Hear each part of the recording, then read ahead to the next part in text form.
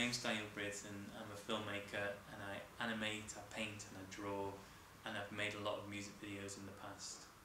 My work as a music video director came about from someone asking me to do a video um, a few years ago and I thought it was a great opportunity and I always wanted to. I watched MTV as a youngster and loved it.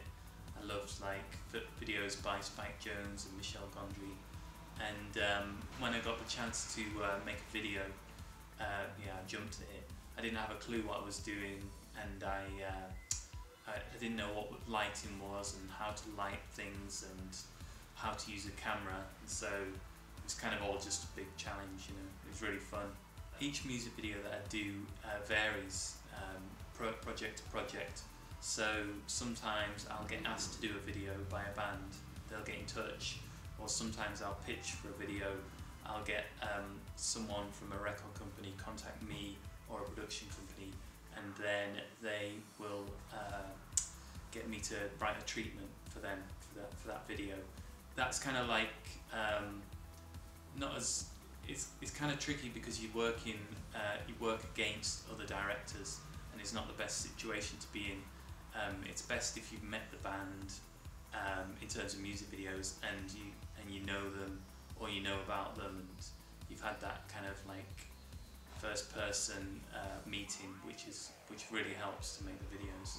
The obvious challenges for someone making music videos is budgets um, um, but it's kind of okay because you also have a lot of opportunity um, at this time. There's so many people that want to make videos, there's so many interesting people out there making things and there's a lot of people to collaborate with.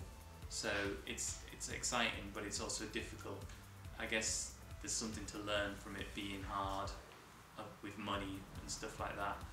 And I kind of see it, if you make good work, it's going to stand out and people are going to want to put some money into it. Recently I've been working a lot with Connan Mockasin who's an artist, uh, musician from New Zealand.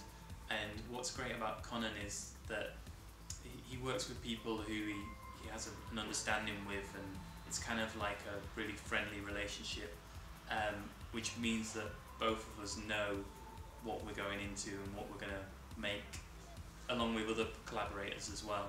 And so the last video we did we all knew about the idea and uh, we got a cinematographer on board who's a really good cinematographer and everyone was enjoying the project. So it's kind of that sense of like communication and family that makes the projects really good. I think I've worked with some really interesting, exciting bands and I feel privileged to do that.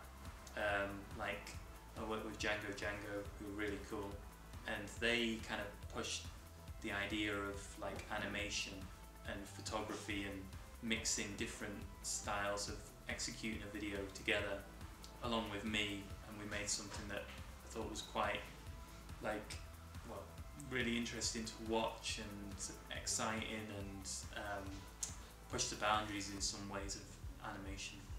I guess if you want to break into music video, there's so much advice I can give you, but I wouldn't know where to start. And the best kind of thing that happened to me was just to go for it, you know, and just to try things and and make things happen for yourself. All my work's always about mistakes anyway, and I like including all of those mistakes in in the videos. So I'd kind of just leave the, the advice off and tell people to go for it, you know. In the future, I'd love to do feature films like uh, films that are longer format. I've done like a lot of music videos and I kind of want to move away from that. I also want to do documentary, short films, work in fashion and commercials as well. I think the reason that I've not done that so much is just because I have a very particular style and it's about kind of getting that across to other people. So I think it's good to stick to what you believe in and go that way instead of just making stuff for the hell of it.